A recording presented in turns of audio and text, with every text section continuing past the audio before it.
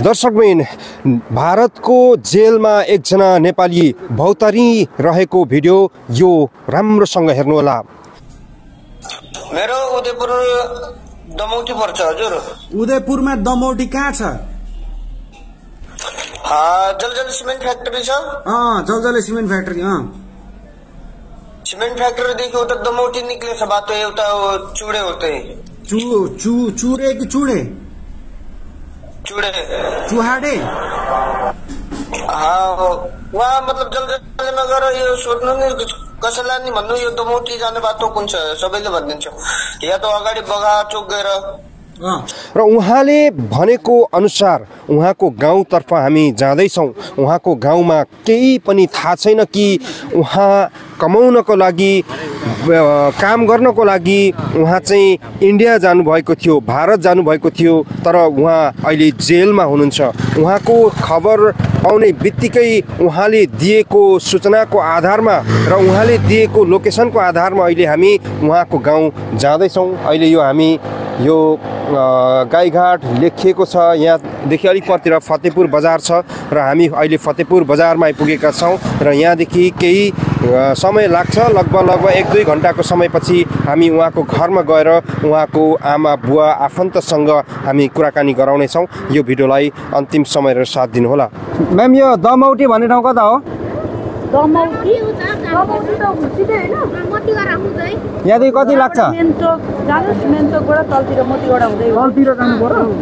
यो यता हजुर यो यता घडी चौक। हजुर हजुर। तल मधेस भेटिने बाटो हो क्या त्यो लान जाने बाटो हो। हस् हस् हस्। हुन्छ म्याम हस् धन्यवाद थ्याङ्क यू सो मच दर्शक मेन कुरो यही हो। यहाँ चाहिँ के छ भने अलिक पर पर है मेन चोक। होइन होइन अलिक पर।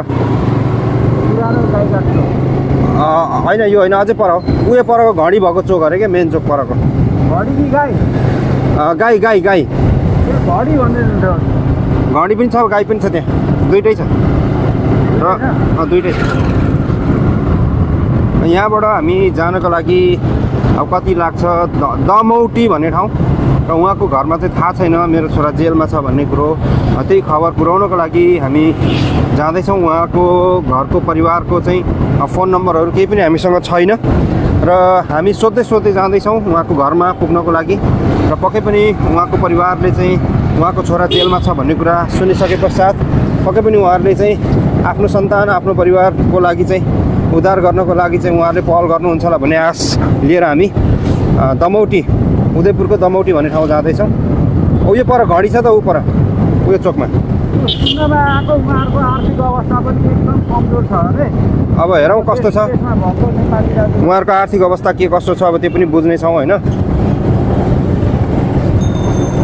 यहाँदेखि यहाँदेखि तल तल यहाँदेखि तल।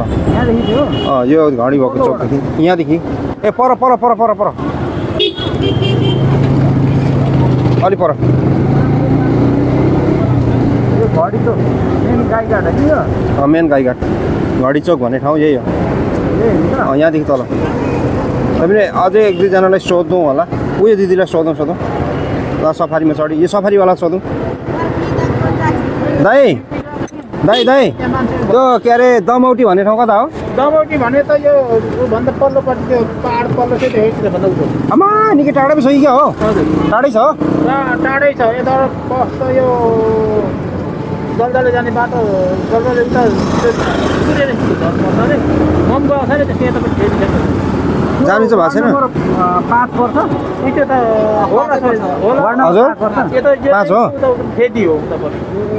भनेपछि यो पाहाड कट्नु पऱ्यो नि? ठुलो जम जम। भनेपछि हामीलाई त निकै लाग्ने रहेछ हौ समय। जम जम जम। भएन स्टार्ट। दर्शक बहिनी हामी चाहिँ यो के अरे उदयपुर गाईघाट बजारलाई छोडेर अहिले हामी उत्तर दक्षिणतर्फ जाँदैछौँ। उत्तर होइन दक्षिणतर्फ चाहिँ। यो पहाड चुरे पहाड पर देखिएको छ सायद क्यामेरामा देखिन्छ देखिँदैन। यहाँ हेर्नुहोला सानो छ। हजुर।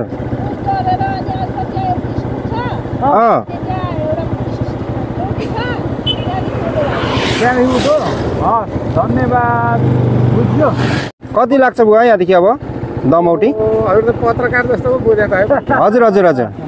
कहाँ त युट्युबमा हेर्थेँ क्या हो। हो। हामी दमौटी जाने बुवा। पन्ध्र मिनट लाग्नुहोस् न आधी घन्टा यहाँबाट।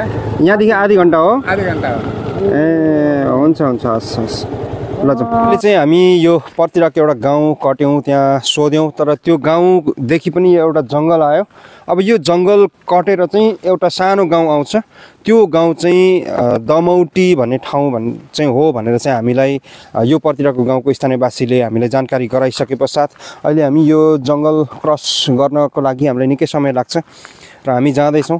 विगत पाँच वर्षदेखि चाहिँ जेलमा भारतको जेलमा बसेका एक युवकको उनको गाउँ आउँदैछौँ र एउटा खबर उहाँको लागि अलिकति दुःखको खबर पनि छ कि उहाँहरूको छोरा चाहिँ भारतको जेलमा चाहिँ फँसेको कुरा हामीले जुन खबर लिएर आउँदैछौँ पक्कै पनि उहाँको परिवारमा अलिकति चिन्ता त रहन्छ यो विषयले र उहाँलाई जेलबाट निकाल्नको लागि चाहिँ के कति खर्च लाग्छ त्यो पनि हामी उहाँहरूलाई सुनाउने छौँ र उहाँको परिवारको अवस्था पनि एकदमै के कस्तो छ अब एकदमै दयनीय छ अथवा ठिक ठिकै छ के कस्तो छ त्यो पनि हामीलाई थाहा छैन।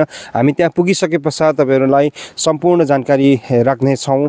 एकजना नेपाली चाहिँ भारतको चाहिँ जेलमा फँसेको कारणले गर्दाखेरि उहाँको साथी चाहिँ विदेशमा हुनुहुँदो रहेछ र विदेशबाट हामीलाई सम्पर्क गराउनु गर्नुभएको थियो र उहाँले भारतको चाहिँ प्रहरीको नम्बर दिनुभएको थियो र प्रहरीसँग पनि हामीले कुराकानी गऱ्यौँ र प्रहरीको भनाइअनुसार उहाँको आफन्त अहिलेसम्म कोही पनि भेट्न आएको छैन। यदि उहाँको आफन्त आए राम्रो हुन्थ्यो उद्धार हुन्थ्यो भन्ने खालको कुराहरू गरिसके पश्चात अहिले हामी उहाँको आफन्त भेट्नको लागि यो दमौटी भन्ने ठाउँमा चाहिँ जाँदैछौँ।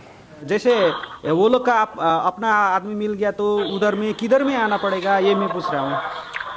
अरे फ़ोन पे बात करवा देना फ़ोन नंबर लिख ना उनका बस। आप फ़ोन पे बात करवा देगा तो होता है।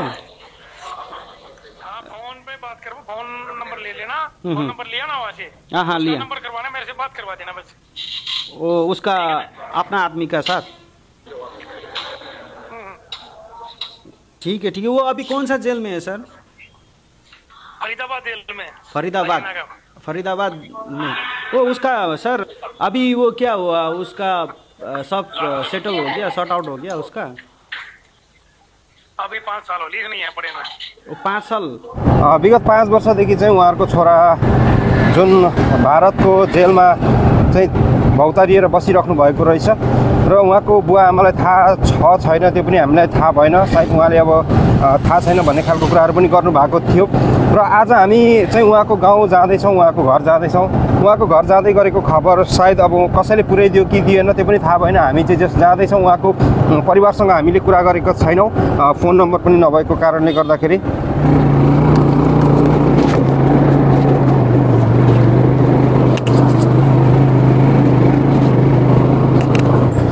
जङ्गल अझै पनि कटेका छैनौँ हामीले। र बाटो अलिकति अप्ठ्यारो नै रहेछ यहाँनिर। यो पानी नपरेको समयमा चाहिँ अब ठिक ठिकै हो। पानी परेको बेला चाहिँ यो बाटो बाइकमा हिँड्न अलिकति गाह्रै छ। यहाँबाट चाहिँ अझै पनि हामी यो जङ्गलको बिचमै छौँ। यहाँ देख्न सकिन्छ यता पनि निकै ठुलो जङ्गल छ यता नि जङ्गल छ है। यहाँ एउटा ट्र्याक्टर आएको छ हामी यो ट्र्याक्टरसँग कुराकानी गर्छौँ। यहाँदेखि कति लाग्छ? म तपाईँहरूलाई यहाँको भ्यू देखाउँदैछु। यहाँ हेर्नु ल जङ्गल चाहिँ निकै नै छ यहाँदेखि होइन? हामीले लगभग लगभग आधी जङ्गल चाहिँ क्रस भयौँ होला। यो एउटा पहाड रहेछ। यो पहाडबाट क्रस भएर हामी आइपुग्यौँ होइन? र यहाँदेखि अब कति लाग्छ थाहा छैन हामीलाई पुग्नको लागि। यहाँ चाहिँ यस्तो छ यस्तो ठाउँबाट निकै ठुलो यो जङ्गल छ। वारिपारि हाम्रो बाइक यहाँ रोकेका छौँ हामीले। दर्शकबिन भिडियो लामो भएको कारणले गर्दा हामी यो जङ्गलको बिचमा रहेको गाउँ तपाईँहरूमाझ राख्न सकेनौँ। हामी अर्को एपिसोडमा उहाँको गाउँ अनि उहाँको आमा बुवासँग भेटिएको र कुरा गरेको भिडियो तपाईँहरूमाझ सम्प्रेषण गर्नेछौँ हामी राख्नेछौँ। त्यतिन्जेलसम्मलाई हामीलाई फलो गर्दै गर्नुहोला र हाम्रो च्यानललाई सब्सक्राइब गर्नुभएको छैन भने सब्सक्राइब गरेर जोडिनुहोला यस्तै ताजा खबर र सुख दुःखको कुराहरू हेर्नको लागि हाम्रो च्यानललाई सब्सक्राइब गरी आजै जोडिनुहोला र उहाँको गाउँको दृश्य तपाईँहरूमाझ अर्को भिडियोमा भने पक्कै राख्नेछौँ। जुन इन्डियामा जेलमा फस्नु भएको छ नि उहाँ घर चाहिँ यही हो। म सानो झुप्रे घर पो रहेछ है। दमौटी र दमौली कन्फ्युज भएर। दमौली पश्चिम भयो दमौती रहेछ है खास चाहिँ। अब इन्डियन पुलिसले